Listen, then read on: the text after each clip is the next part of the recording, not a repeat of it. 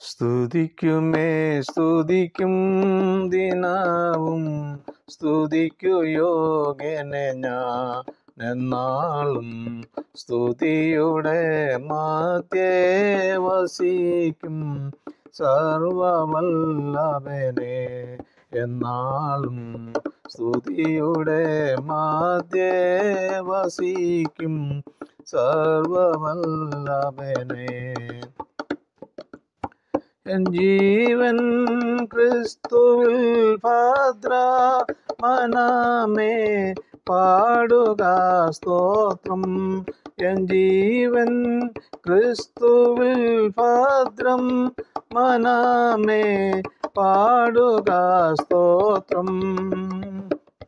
എന്നയം തൻ കൃപ മാത്രം എന്നഭയം തൻ കൃപ മാത്രം. അല്ലേലുയ്യ. സ്തുതിക്കുമേ സ്തുതിക്കും ദിനാവും സർവവല്ലവനേ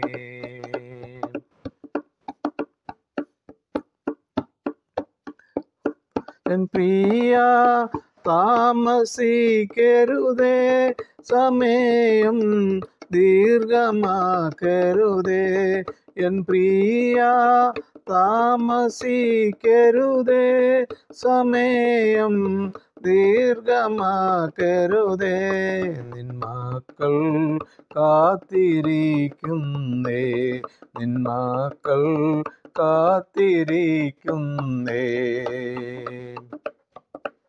സ്തുതിക്കുമേ സ്തുതിക്കും ദിനാവും.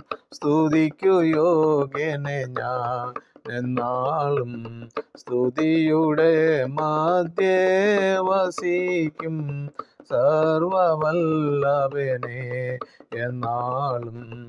സ്തുതിയുടെ മധ്യേ വസിക്കും സർവവല്ലഭനെ.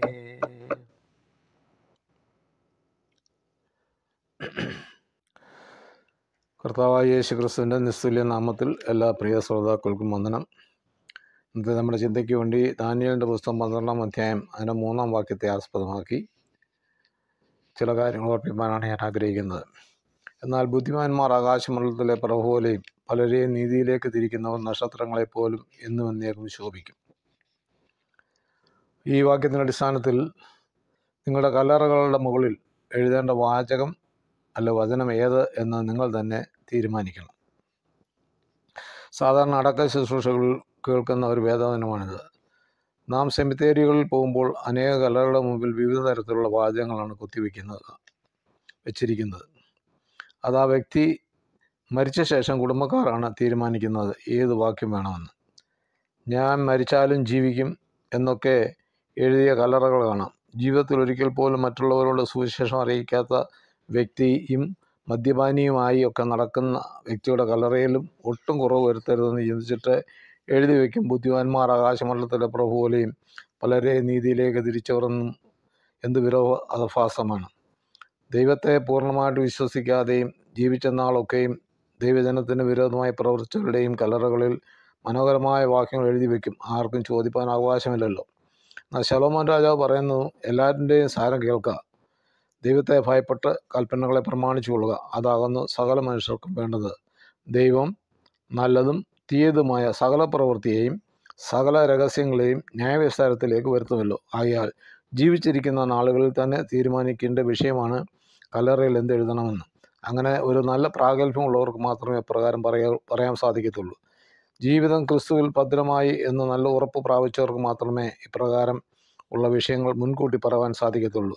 മരണത്തിന് മുമ്പ് ചില മക്കളോട് ചിലർ പറയാറുണ്ട് എന്റെ അടക്കത്തിന് ശുശ്രൂഷകൾ ചെയ്യേണ്ടതാരെന്നും ഒരുക്കി കിടത്തേണ്ട രീതിയും എല്ലാം മുൻകൂട്ടി പറയുകയും തങ്ങളുടെ അഭിലാഷങ്ങൾ അറിയിക്കുകയും ചെയ്യും. എന്നാൽ ആരും തങ്ങളുടെ കലറകൾ എന്ത് എഴുതി വെക്കണമെന്ന് പറയാറില്ല. എന്നാൽ പ്രിയ ശ്രോതാക്കളെ നിങ്ങളുടെ ഈ ഭൂമിയിലെ വാസത്തിനുള്ളിൽ വാസത്തിനുള്ളിൽ എടുക്കേണ്ട ഒരു തീരുമാനമാണ് ഞാൻ ഭൂമിയിൽ എത്ര വർഷം ജീവിച്ചു എന്നോ ആ കാലഘട്ടത്തിൽ എന്തെല്ലാം പ്രവൃത്തി ചെയ്തിട്ടുണ്ട് എന്നും ആ വ്യക്തിക്ക് മാത്രമേ അറിയുള്ളൂ. ഒരു നല്ല ജീവിതം നയിച്ച വ്യക്തിയെങ്കിൽ ക്രിസ്തുവിന്റെ രക്തത്താൽ വീണ്ടെടുപ്പ് പ്രാപിച്ചുവെങ്കിൽ അവർ ധൈര്യത്തോട് പറയാൻ പറയും പറയാൻ സാധിക്കും. ഞാൻ നല്ല പോർ പൊരുതു ഓട്ടം തികച്ചു വിശ്വാസം കാത്തു എന്ന്. അങ്ങനെയുള്ളവർക്ക് ഉള്ള അവകാശമാണ് നീതിയുടെ കിരീടം. ആകയാൽ പ്രിയരെ നിന്റെ കിരീടം ആരും എടുക്കുവാൻ ഇടയാകരുത്. ഈ ലോക ജീവിതത്തിൽ പ്രതികൂലങ്ങളും ഉപദ്രവങ്ങളും നിന്ദകളും പഴികളും ഒക്കെ സഹിക്കേണ്ടി വന്നാലും വിശ്വാസത്തിൽ ഉറച്ചു നിന്ന് ശത്രുവോട് പോരാടുമെങ്കിൽ മാത്രമേ പറവാൻ സാധിക്കൂ. ഞാൻ നല്ല പോർ പൊരുതുമെന്ന് വരുവാനുള്ള മഹിമ എന്തെന്ന് വിശ്വാസ കണ്ണുകളാൽ കാണുന്നവർക്ക് മാത്രമേ ഇങ്ങനെയുള്ള പ്രത്യാശയുടെ വാക്കുകൾ പറയാൻ സാധിക്കത്തുള്ളൂ. പ്രിയ സ്നേഹിതരെ നിങ്ങളുടെ മരണശേഷം കല്ലറയിൽ എന്തെഴുതണമെന്ന് ധൈര്യത്തോട് പറവാൻ നിങ്ങൾക്ക് പ്രാഗല്ഭ്യമുണ്ടോ ഇല്ലെങ്കിൽ ജീവന്റെ നാഥനായ ക്രിസ്തുവുമായി നല്ലൊരു ബന്ധം സ്ഥാപിക്കുക. അപ്പോൾ പോകേണ്ടുന്ന വഴിയും ചെയ്യേണ്ട കാര്യങ്ങളും നിങ്ങളോട് അറിയിക്കും. അനുസരണത്തോടെ ദൈവസന്നിധിയിൽ ജീവിതത്തെ കാഴ്ചവെക്കുന്നെങ്കിൽ നല്ലൊരന്ത്യം പ്രാപിപ്പാനും അന്ത്യശ്വാസം എടുക്കും മുമ്പേ ഞാൻ ആരായിരുന്നു എന്ന് ലോകത്തോട് വിളിച്ചു പറയുന്ന ഒരു ബോർഡ് വെക്കുവാൻ ആ സംഗതിയായി വരട്ടെ. ദൈവമായ കർത്താവ് ആ ആ നല്ല ആ ആ വിഷയത്തിന് വേണ്ടി പ്രവർത്തിപ്പാൻ നിൽക്കണം. നമുക്ക് ഏൽപ്പിച്ചു കൊടുക്കാൻ നിത്യനായ ദൈവത്തിന്റെ ആ നിത്യതയിൽ ചെന്ന് ചേരുവാൻ നിൽക്കണം. ദൈവസന്നിധിയിൽ ഒരിക്കൽ കൂടി ഏൽപ്പിക്കാം. ദൈവമായ കർത്താവ് ഈ വചനങ്ങളാൽ നമ്മളെ അനുഗ്രഹിക്കുമാറാകട്ടെ.